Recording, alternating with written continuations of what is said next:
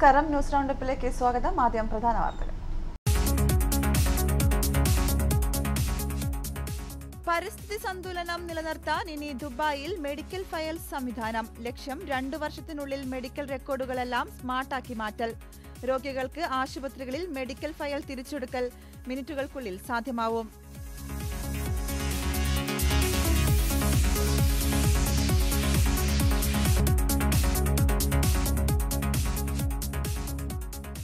ദുബായിലെ school bus ഗതാഗത സംവിധാനം ആർ ടി എ ഏറ്റെടുക്കും. പദ്ധതി നടപ്പിലാക്കുന്നത് അടുത്ത വർഷം മുതൽ. നടപടി കൂടുതൽ സുരക്ഷിതമായ യാത്ര ഉറപ്പുവരുത്താൻ.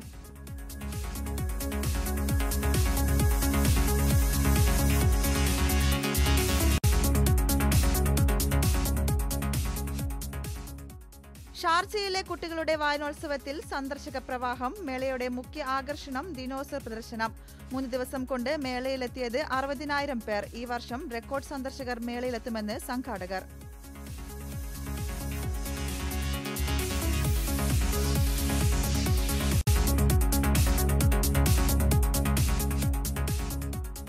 കുവൈറ്റിൽ വിദേശികൾക്കുള്ള ഫാമിലി കമേഴ്സ്യൽ വിസിറ്റിംഗ് വിസ നിരക്കുകൾ വർദ്ധിപ്പിച്ചു. മൂന്ന് മാസത്തെ വിസയ്ക്ക് വിദേശികൾ നൽകേണ്ടത് തൊണ്ണൂറ് ദിനാർ. മാതാപിതാക്കൾക്കുള്ള ആശ്രിത വിസയിലും വൻ വർധനവ്. പുതുക്കിയ വിസ നിരക്ക് അടുത്ത മാസം പ്രാബല്യത്തിലാവും.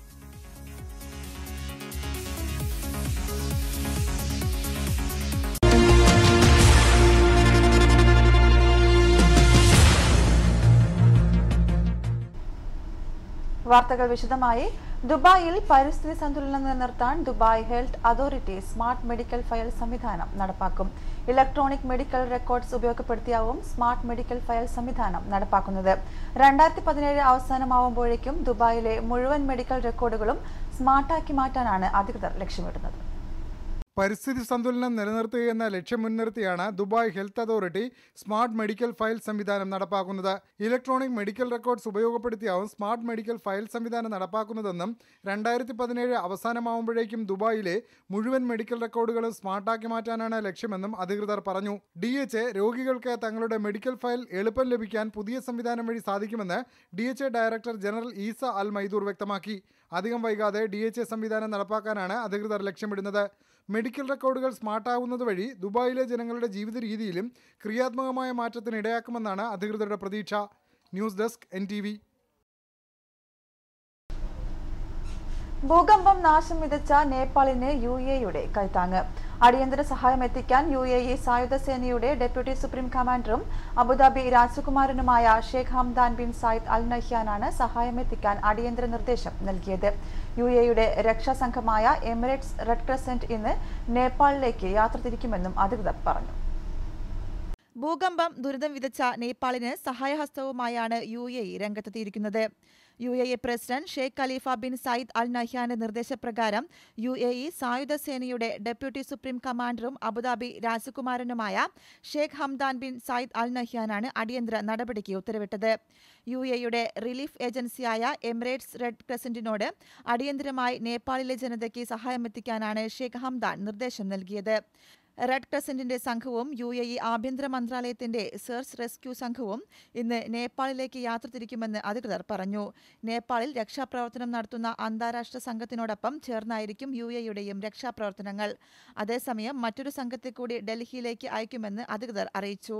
ഡൽഹിയിലെത്തി ഭക്ഷണവും മരുന്നുകളും വാങ്ങി വിമാനമാർഗം നേപ്പാളിലെത്തിച്ച് വിതരണം ചെയ്യാനാണ് ഈ സംഘത്തെ അയക്കുന്നതെന്നും അധികൃതർ പറഞ്ഞു. News desk N T V മൂന്ന് ദിവസമായി തുടരുന്ന ഷാർജ ചിൽഡ്രൻസ് റീഡിംഗ് ഫെസ്റ്റിവലിലേക്ക് സന്ദർശക പ്രവാഹം. മൂന്ന് ദിവസം കൊണ്ട് അറുപതിനായിരോളം സന്ദർശകർ മേളയിലെത്തി എന്നാണ് ഔദ്യോഗിക കണക്കുകൾ. ദിനോസർ പാർക്കാണ് മേളയിലെ മുഖ്യ ആകർഷണമായി സന്ദർശകർക്ക് അനുഭവപ്പെടുന്നതെന്നും അധികൃതർ പറഞ്ഞു. ഏപ്രിൽ ആരംഭിച്ച മേള മെയ് രണ്ടിനാണ് അവസാനിക്കുന്നത്. ഷാർജ എക്സ്പോ സെന്ററിൽ തുടരുന്ന ചിൽഡ്രൻസ് റീഡിംഗ് ഫെസ്റ്റിവലിലേക്ക് സന്ദർശക പ്രവാഹം. ആരംഭിച്ച് മൂന്ന് ദിവസത്തിനകം അറുപതിനായിരത്തോളം സന്ദർശകർ മേളയിലെത്തിയെന്നാണ് ഔദ്യോഗിക കണക്കുകൾ. കഴിഞ്ഞ വർഷത്തെ മൊത്തം സന്ദർശകരായ ഒരു ലക്ഷത്തി നാൽപ്പതിനായിരം പേർ ഏതാനും ദിവസങ്ങൾ കൊണ്ട് തന്നെ ഈ വർഷത്തെ മേള മറികടക്കുമെന്നാണ് പ്രതീക്ഷിക്കപ്പെടുന്നത്.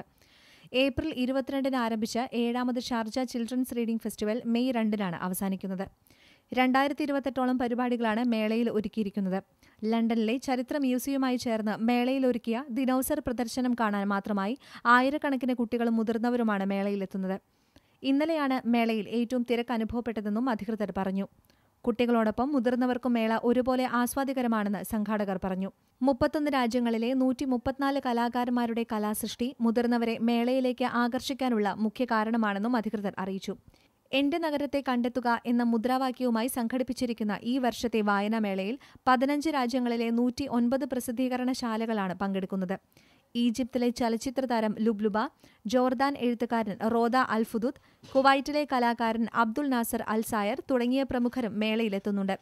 ഇനിയുള്ള ദിവസങ്ങളിലെ പരിപാടികളിൽ ഈജിപ്തിലെ സംവിധായകൻ ഷോക്കി ഹിജാബ് എഴുത്തുകാരൻ യാക്കൂബ് അൽ ഷറൂനി തുടങ്ങിയവരും പങ്കെടുക്കും. കൂടുതൽ വൈവിധ്യമായ വിഭവങ്ങളും സംഘാടനത്തിലെ മികവുമാണ് വർദ്ധിച്ച പങ്കാളിത്തത്തിന് കാരണമെന്ന് ഷാർജ പുസ്തക അതോറിറ്റിയുടെ അധ്യക്ഷൻ Ahmed bin Rakkad Al Ameri പറഞ്ഞു.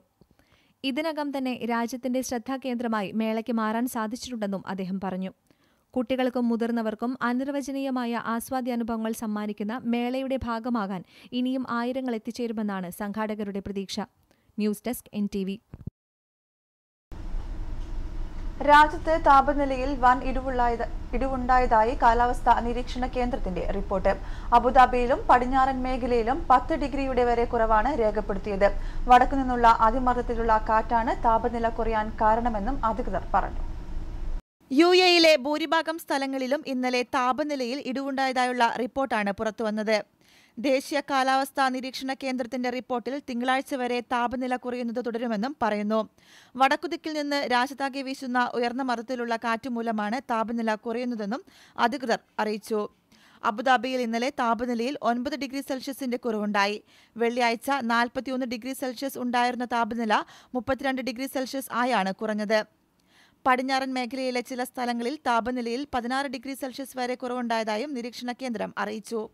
ഇന്നലെ രാവിലെ അഞ്ച് മണി മുതൽ മണിക്കൂറിൽ അമ്പത്തിയഞ്ച് കിലോമീറ്റർ വരെ വേഗത്തിലുള്ള കാറ്റ് രാജ്യത്തിന്റെ പല ഭാഗങ്ങളിലുമുണ്ടായി പതിനാല് അടി വരെയുള്ള തിരകൾ രാജ്യത്തെ കടലിലുണ്ടായതായും നിരീക്ഷണ കേന്ദ്രം അറിയിച്ചു. പടിഞ്ഞാറൻ മേഖലയിൽ കാറ്റിനൊപ്പം മണലുണ്ടായത് പൊടിക്കാറ്റായി രൂപാന്തരപ്പെട്ടുവെന്നും ദൂരക്കാഴ്ചയെ ബാധിച്ചുവെന്നും അധികൃതർ പറഞ്ഞു. അൽഹംറ പോലുള്ള സ്ഥലങ്ങളിൽ ദൂരക്കാഴ്ച നാലായിരം മീറ്ററിലും താഴെയായിരുന്നു. വളരെ നല്ല തണുത്ത അന്തരീക്ഷമായതിനാൽ കുടുംബങ്ങൾക്ക് പുറത്തുപോകാൻ യോജിച്ച കാലാവസ്ഥയായിരിക്കുമെന്ന് അധികൃതർ പറഞ്ഞു. കാറ്റ് വീശുന്നതിനാൽ ദൂരക്കാഴ്ച കുറയുമെന്നതിനാൽ വാഹനമോടിക്കുന്നവർ ജാഗ്രത പാലിക്കണമെന്നും കടലിൽ പോകുന്നവർ സൂക്ഷിക്കണമെന്നും കാലാവസ്ഥാ നിരീക്ഷണ കേന്ദ്രം അറിയിച്ചിട്ടുണ്ട്. ന്യൂസ് ഡെസ്ക് എൻ ദുബായിലെ സ്കൂൾ ബസ് ഗതാഗത സംവിധാനം ആർ ടി എ ഏറ്റെടുക്കുമെന്ന് റിപ്പോർട്ടുകൾ.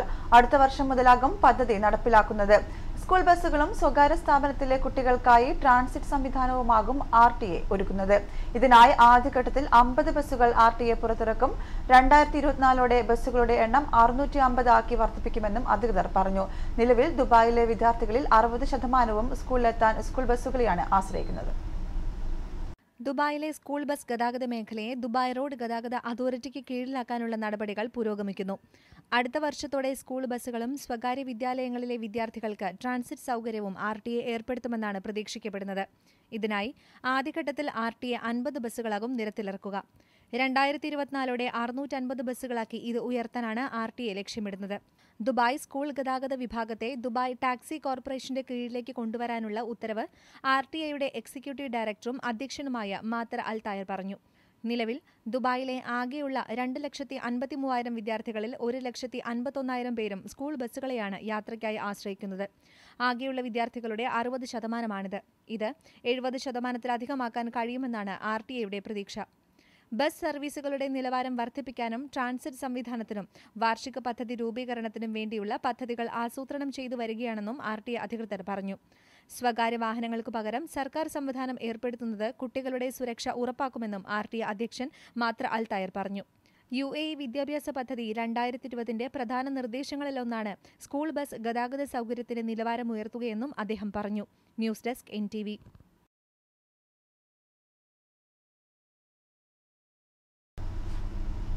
നവീകരണത്തിനായി ഭാഗികമായി അടച്ച Sheikh Humaid bin Saqr Al Qasimi road വീണ്ടും ഗതാഗതത്തിനായി തുറന്നുകൊടുക്കും.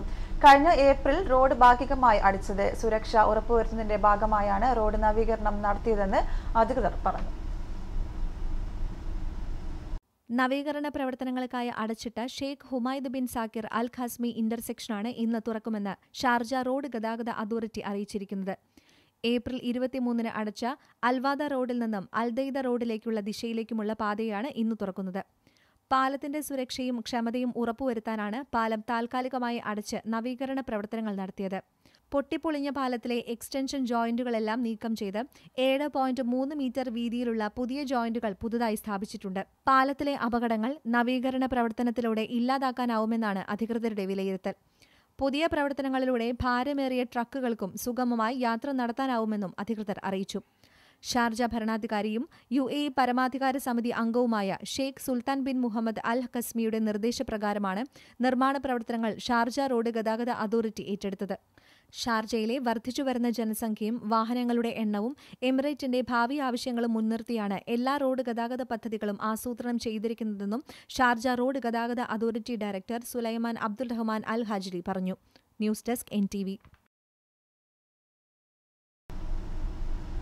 ദുബായിലെ സഫാരി പാർക്ക് രണ്ടായിരത്തി പതിനാറ് പകുതിയോടെ തുറന്നുകൊടുക്കാൻ കഴിയുമെന്ന് അധികൃതർ പറഞ്ഞു. നിലവിൽ പാർക്കിന്റെ മുപ്പത് ശതമാനം പ്രവൃത്തി പൂർത്തിയാക്കാൻ കഴിഞ്ഞു. നൂറ്റി പത്തൊൻപത് ഹെക്ടറിലായി നൂറ് കോടി ദിർഹം ചെലവിലാണ് പാർക്ക് നിർമ്മിക്കുന്നതെന്നും ദുബായ് മുനിസിപ്പാലിറ്റി അധികൃതർ അറിയിച്ചു. രണ്ടായിരത്തി പതിനാറ് പകുതിയോടെ സഫാരി പാർക്കിന്റെ നിർമ്മാണ പ്രവർത്തനങ്ങൾ പൂർത്തിയാക്കുമെന്നാണ് വിലയിരുത്തപ്പെടുന്നത്. പാർക്കിന്റെ മുപ്പത് ശതമാനം നിർമ്മാണ പ്രവർത്തനങ്ങളും പൂർത്തിയായതായി അധികൃതർ പറഞ്ഞു. നൂറ്റി പത്തൊൻപത് ഹെക്ടറിലായി നൂറ് കോടി ദിർഹം ചെലവിലാണ് ഏവരും പ്രതീക്ഷയോടെ കാത്തിരിക്കുന്ന സൂ പാർക്ക് നിർമ്മിക്കുന്നത്. ദുബായ് അൽവാർക്ക മേഖലയിൽ പാർക്ക് വരുന്നതോടെ ദുബായ് മൃഗശാലയും പാർക്കിലേക്ക് മാറ്റും. ആയിരത്തോളം മൃഗങ്ങളെയാകും പാർക്കിലേക്ക് മാറ്റുന്നത്. രണ്ടായിരത്തി ഒമ്പതിൽ ആദ്യം പ്രഖ്യാപിച്ച പദ്ധതി ഇടക്കാലത്തെ ഒരു ഇടവേളയ്ക്ക് ശേഷം രണ്ടായിരത്തി പന്ത്രണ്ടിലാണ് പുനരാരംഭിച്ചത്. ദുബായ് ഡ്രാഗൺ മാളിന് എതിർവശമുള്ള തരിശ് സ്ഥലമാണ് പാർക്ക് ഒരുക്കുന്നത്. പാർക്കിലെ ജലസേചന സംവിധാനവും വാഹനങ്ങളും വിനോദ സംവിധാനങ്ങളും പൂർണമായും സൗരോർജത്തിലാകും പ്രവർത്തിക്കുക. മൃഗങ്ങളുടെ ആവാസ വ്യവസ്ഥയെക്കുറിച്ചും പുതിയ സ്ഥലത്തേക്ക് മാറ്റുമ്പോൾ പാലിക്കേണ്ട മുൻകരുതലുകളെക്കുറിച്ചും പഠിക്കാൻ പ്രത്യേക സമിതിക്കും രൂപം നൽകിയിട്ടുണ്ട്.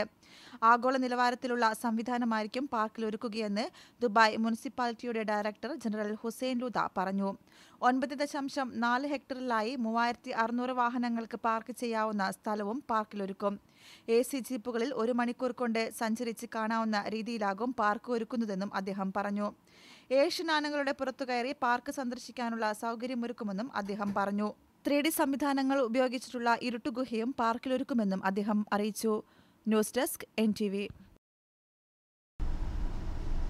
മാനുഷിക പ്രവർത്തനങ്ങളിൽ ഉന്നത സേവനം കാഴ്ചവെച്ച ലോക ഇസ്ലാമിക് ചാരിറ്റബിൾ സംഘടനയ്ക്ക് ഐക്യരാഷ്ട്രസഭ പ്രത്യേക അഭിനന്ദനം രേഖപ്പെടുത്തിയതായി സംഘട- സംഘടനയുടെ തലവനും ഐക്യരാഷ്ട്രസഭയുടെ പ്രതിനിധിയുമായ ഡോക്ടർ അബ്ദുല്ല അൽ മദൂബ് പറഞ്ഞു. ലോകത്ത് നിരവധി പേരുടെ പ്രയാസങ്ങൾ അകറ്റാൻ കുവൈറ്റിന് കഴിഞ്ഞിട്ടുണ്ടെന്നും U N secretary general Ban Ki-moon പറഞ്ഞു. സിറിയൻ ഉച്ചകോടിക്ക് ആതിഥേയത്വം വഹിച്ചതുൾപ്പെടെ മാനുഷിക സേവനങ്ങൾ പരിഗണിച്ചാണ് സംഘടന പ്രത്യേക അഭിനന്ദനം അർഹിക്കുന്നതെന്ന് യു എൻ സെക്രട്ടറി ജനറൽ പ്രതികരിച്ചു. ഷാർജയിൽ ആധുനിക സൗകര്യങ്ങളോട് കൂടിയ അൽകാസ്മിയ യൂണിവേഴ്സിറ്റി ഷാർജ ഭരണാധികാരി doctor Sheikh Sultan bin Muhammad Al Qasimi ഉദ്ഘാടനം ചെയ്തു. പത്ത് ലക്ഷം ചതുരശ്ര മീറ്റർ വിസ്തീർണത്തിൽ നിർമ്മിച്ചിരിക്കുന്ന പുതിയ യൂണിവേഴ്സിറ്റി നിലവിലുള്ള യൂണിവേഴ്സിറ്റിയിൽ തന്നെയാണ് പ്രത്യേകമായി ആരംഭിക്കുന്നത്.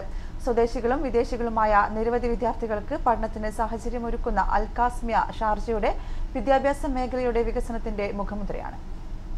ഷാർജയുടെ സാംസ്കാരിക വിദ്യാഭ്യാസ രംഗത്ത് പുത്തൻ സംഭാവനകൾ നൽകുകയെന്ന ലക്ഷ്യത്തോടെ നിർമ്മാണം പൂർത്തിയാക്കിയ ഇസ്ലാമിക സർവകലാശാലയാണ് പ്രൗഢഗംഭീരമാർന്ന ചടങ്ങിൽ Sharjah ഭരണാധികാരിയും U A E supreme council അംഗവുമായ Sheikh Sultan bin Muhammad Al Qasimi രാജ്യത്തിന് സമർപ്പിച്ചത്. രാഷ്ട്രത്തിനകത്തും പുറത്തുനിന്നുമായി ഓഫീസുകളും ബ്രാഞ്ചുകളുമുള്ള യൂണിവേഴ്സിറ്റിയുടെ ഔദ്യോഗിക ഉദ്ഘാടനത്തിൽ നൂറുകണക്കിന് വിദ്യാഭ്യാസ വിദഗ്ധരും വിദേശികളും വിദ്യാർത്ഥികളും പങ്കെടുത്തു.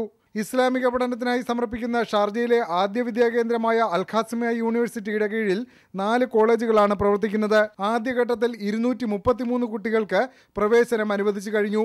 ഇതിൽ അറബ് രാജ്യങ്ങളിൽ നിന്നും നൂറ്റി എഴുപത് വിദ്യാർത്ഥികളാണുള്ളത്. ആഫ്രിക്കയിൽ നിന്നും എൺപത്തിനാലും ഏഷ്യയിൽ നിന്നും നാൽപ്പത്തിനാലും യൂറോപ്പിൽ നിന്നും മുപ്പത്തിനാലും വിദ്യാർത്ഥികൾക്കാണ് പ്രവേശനം അനുവദിച്ചിട്ടുള്ളത്. പ്രാദേശികമായി ഏഴ് കുട്ടികൾക്കും പ്രവേശനം നൽകിയിട്ടുണ്ടെന്നും അധികൃതർ അറിയിച്ചു. നാൽപ്പത്തി അഞ്ച് രാജ്യങ്ങളിൽ നിന്നുള്ള വിദ്യാർത്ഥികൾ ഷാർജയിലെ ഈ പുതിയ യൂണിവേഴ്സിറ്റിയിൽ പഠനം പൂർത്തിയാക്കും. ഇസ്ലാമിക സാമ്പത്തിക ശാസ്ത്രം അറബിക് സ്റ്റഡീസ് സാമ്പത്തിക ശാസ്ത്രം ശരീരത്ത് നിയമം മാധ്യമങ്ങളെ സംബന്ധിച്ചുള്ള പഠനം തുടങ്ങിയവയെല്ലാം യൂണിവേഴ്സിറ്റിയിൽ ഒരുക്കിയിട്ടുണ്ട്. അൽഖാസിമ യൂണിവേഴ്സിറ്റിയിൽ പഠിക്കുന്ന വിദ്യാർത്ഥികൾക്ക് നിബന്ധനകളുടെ അടിസ്ഥാനത്തിൽ പ്രതിമാസം ആയിരത്തി അഞ്ഞൂറ് ദീർഘം നൽകും. കൂടാതെ താമസ സൗകര്യവും രണ്ട് വർഷത്തിലൊരിക്കൽ നാട്ടിൽ പോയി വരാനുള്ള വിമാന യാത്രാ ടിക്കറ്റ് നൽകുമെന്നും അധികൃതർ അറിയിച്ചു. വിദ്യാഭ്യാസത്തെ എല്ലാ കാലത്തും പ്രോത്സാഹിപ്പിക്കുന്ന ഷെയ്ഖ് സുൽത്താൻ പുതിയ യൂണിവേഴ്സിറ്റിയിലേക്ക് ആദ്യപടിയായി ഒരു ലക്ഷത്തി ഇരുപതിനായിരത്തി അഞ്ഞൂറ് പുസ്തകങ്ങളും അനുവദിച്ചിട്ടുണ്ട്. News desk N T V. സൗദിയിൽ വീട്ടുജോലിക്കാരുടെ റിക്രൂട്ടിംഗിനായി മന്ത്രാലയം ഏർപ്പെടുത്തിയ മുസാനിദ് സംവിധാനം അനുസരിച്ച് ജോലിക്കാരെ സൗദിയിലെത്തിക്കാൻ ആറ് മുതൽ പത്ത് മാസം വരെ സമയമെടുക്കുമെന്ന് തൊഴിൽ മന്ത്രാലയം അറിയിച്ചു. ഏതെങ്കിലും റിക്രൂട്ടിംഗ് കമ്പനികളോടോ ഏജൻസികളോടോ മൂന്ന് മാസത്തിനകം വീട്ടുജോലിക്കാരെ സൗദിയിലെത്തിക്കണമെന്നാണ് തൊഴിൽ മന്ത്രാലയം നിർദ്ദേശിച്ചിട്ടില്ല റിക്രൂട്ടിംഗ് അപേക്ഷ സമർപ്പിച്ചത് മുതൽ നടപടികൾ പൂർത്തിയാവുന്നതുവരെയുള്ള പുരോഗതി മുസനദ് ഓൺലൈൻ സംവിധാനത്തിൽ ലഭ്യമാവുമെന്നും മന്ത്രാലയം വ്യക്തമാക്കി. ബംഗ്ലാദേശിൽ നിന്ന് വീട്ടുവേലക്കാരുടെ റിക്രൂട്ടിംഗ് പുതുതായി ആരംഭിച്ച സാഹചര്യത്തിൽ നാല് മാസത്തിനകം ജോലിക്കാരെ സൗദിയിലെത്തിക്കണമെന്ന് സൗദി ചേംബറിലെ റിക്രൂട്ടിംഗ് കമ്മിറ്റി വ്യക്തമാക്കിയ സാഹചര്യത്തിലാണ് വീട്ടുജോലിക്കാരെ റിക്രൂട്ട് ചെയ്യുന്ന കമ്പനികളും ഏജൻസികളും മൂന്ന് മാസത്തിനകം ജോലിക്കാരെ സൗദിയിലെത്തിക്കണമെന്ന് നിബന്ധന വെച്ചിട്ടില്ലെന്ന് തൊഴിൽ മന്ത്രാലയം അറിയിച്ചത്. വിദേശ റിക്രൂട്ടിംഗ് നടപടികൾ ചുരുങ്ങിയത് നാല് മാസം എടുക്കുമെന്നും സാധാരണഗതിയിൽ ആറ് മുതൽ പത്ത് മാസം വരെ നീണ്ടേക്കുമെന്നും അധികൃതർ അറിയിച്ചു. ഏതെങ്കിലും റിക്രൂട്ടിംഗ് കമ്പനികളോടോ ഏജൻസികളോടോ മൂന്ന് മാസത്തിനകം വീട്ടുവേലക്കാരെ സൗദിയിലെത്തിക്കണമെന്ന് തൊഴിൽ മന്ത്രാലയം നിർദ്ദേശിച്ചിട്ടില്ല. റിക്രൂട്ടിംഗ് അപേക്ഷ സമർപ്പിച്ചത് മുതൽ നടപടികൾ പൂർത്തിയാവുന്നതുവരെയുള്ള പുരോഗതി മുസാനത്ത് ഓൺലൈൻ സംവിധാനത്തിൽ ലഭ്യമാകും. ബംഗ്ലാദേശിൽ നിന്നുള്ള വീട്ടുജോലിക്കാർക്ക് പ്രതിമാസം എണ്ണൂറ് റിയാൽ ശമ്പളമാണ് സൗദി നിശ്ചയിച്ചിട്ടുള്ളത്. സൗദിയിലെ വിവിധ വേദികളുടെ ശക്തമായ സഹകരണത്തോടെയാണ് ബംഗ്ലാദേശ് റിക്രൂട്ടിംഗ് പുനരാരംഭിച്ചിട്ടുള്ളതെന്ന് സൗദി റിക്രൂട്ടിംഗ് കമ്മിറ്റി മേധാവി സഅദ് അൽ ബദാവ് പറഞ്ഞു. ന്യൂസ് ഡെസ്ക് എൻ ടി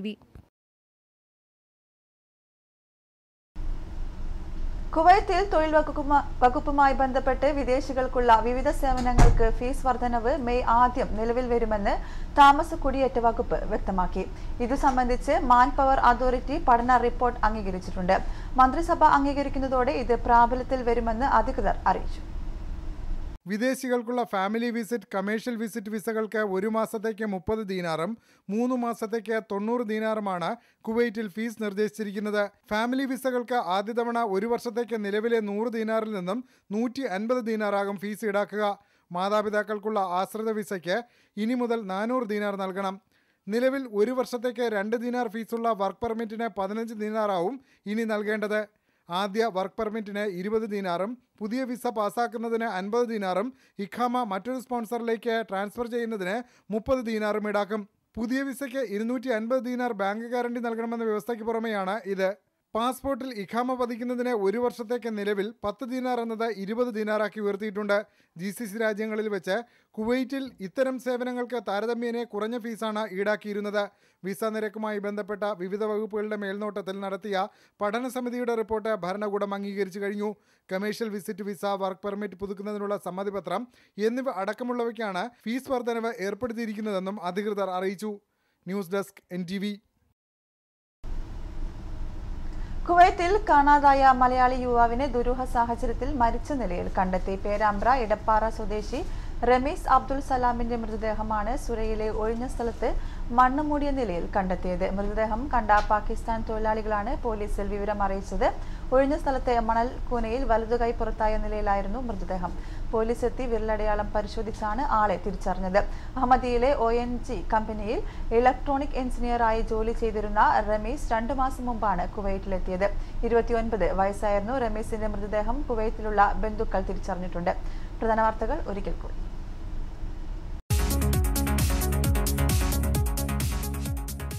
പരിസ്ഥിതി സന്തുലനം നിലനിർത്താൻ ഇനി ദുബായിൽ മെഡിക്കൽ ഫയൽ സംവിധാനം. ലക്ഷ്യം രണ്ടു വർഷത്തിനുള്ളിൽ മെഡിക്കൽ റെക്കോർഡുകളെല്ലാം സ്മാർട്ടാക്കി മാറ്റൽ. രോഗികൾക്ക് ആശുപത്രികളിൽ മെഡിക്കൽ ഫയൽ തിരിച്ചെടുക്കൽ മിനിറ്റുകൾക്കുള്ളിൽ സാധ്യമാവും.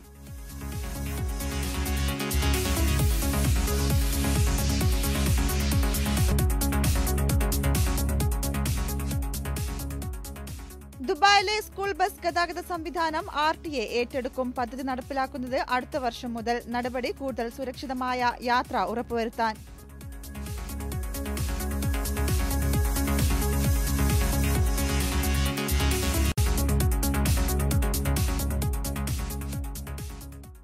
ഷാർജയിലെ കുട്ടികളുടെ വായനോത്സവത്തിൽ സന്ദർശക പ്രവാഹം മേളയുടെ മുഖ്യ ആകർഷണം ദിനോസർ പ്രദർശനം. മൂന്ന് ദിവസം കൊണ്ട് മേളയിലെത്തിയത് അറുപതിനായിരം പേർ. ഈ വർഷം റെക്കോർഡ് സന്ദർശകർ മേളയിലെത്തുമെന്ന് സംഘാടകർ.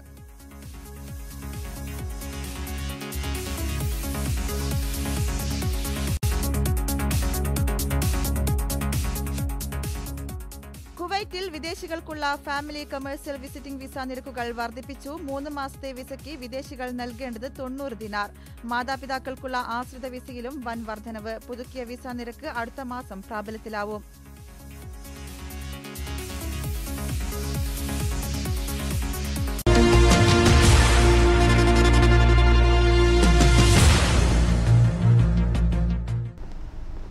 ഈ വാർത്താ ബുള്ളറ്റിൻ ഇവിടെ പൂർണമാകുന്നു. നമസ്കാരം.